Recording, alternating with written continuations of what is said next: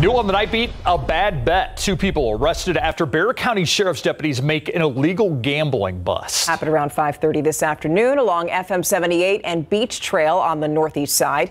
Deputies say that no one inside the suite wanted to answer the door when they arrived, but the BCSO had a search warrant, and when deputies got inside, they say that eight women and two men were using slot machines. One of the two people arrested had marijuana and a firearm. Right now, it's not clear how many gambling machines were actually confiscated in all this. Keep up to date with all of San Antonio's top news, weather, and so much more by clicking the like and subscribe buttons below. And once again, thanks for watching KSAT.